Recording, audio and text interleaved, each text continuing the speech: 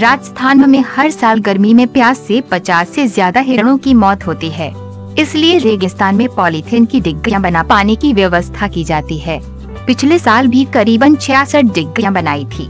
श्री गंगानगर के लखासर गाँव के निर्धारणिया ने इसकी पहल की थी? उन्होंने एक दास्ता को शेयर करते बताया कि वो एक गाँव जा रहा थे।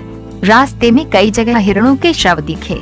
वहाँ पानी मिलने के कारण हिरण दम तोड़ रहे थे। इलाके में दस हज़ार हिरण है, लेकिन पानी का कोई स्रोत इनके लिए नहीं है। हिरण प्यास बुझाने गाँव आते हैं तो कुत्ते हमला कर देते हैं। उसी समय हिरणों को बचाने की ठान ली। अनिल बताते हैं कि गर्मी में ही ये डिग्गियाँ बनाई जाती हैं।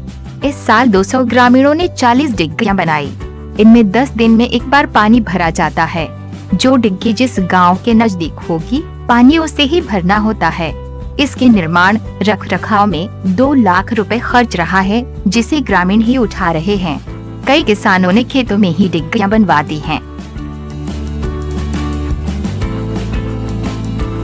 अगर आपको ये वीडियो पसंद आए तो लाइक एवं शेयर ज़रूर करें आपको हमारा ये वीडियो कैसा लगा, ये हमें कमेंट करके ज़रूर बताएँ।